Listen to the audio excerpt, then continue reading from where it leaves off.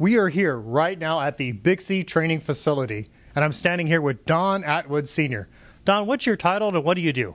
I'm a installation uh, design specialist, and I'm the BICSI certified trainer. And this is one of the um, BICSI authorized training centers in Tennessee. Is that correct? Right, one of four. There's actually four facilities in the state of Tennessee. Now, the students that come here, who do we actually train, Don?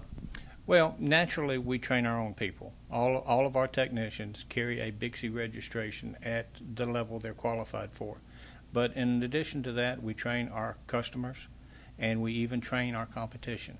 What type of training is done here at this BICSI location? Okay, we train on the network transport system uh, cable installation training. If you're looking for a quality BICSI training facility, give Hiscall a call and we can set up an appointment. Thank you.